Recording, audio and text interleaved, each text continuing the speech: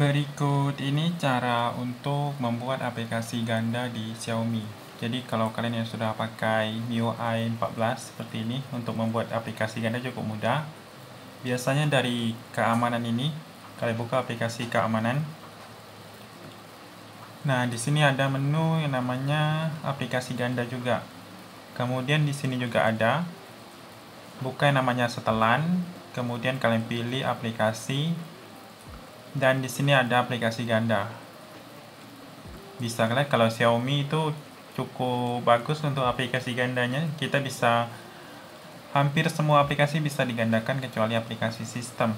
Jadi untuk menggandakan cukup mudah. Pilih saja salah satu seperti ini. Aktifkan pilih hidupkan di sini. Nanti di home screen atau layar beranda akan ada aplikasi ganda ini kalau kalian ingin menghapus semua aplikasi ganda di sini atau untuk mengatur animasinya juga bisa.